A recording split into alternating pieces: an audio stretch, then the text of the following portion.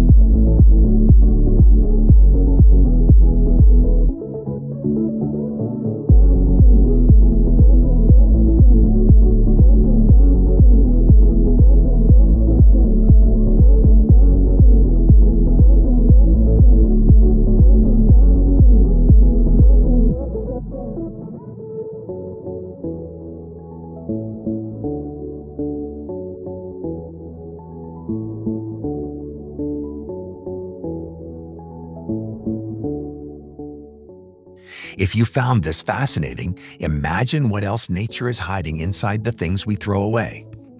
Hit that like button, subscribe, and tap the bell because we're uncovering more industrial secrets you've never seen before.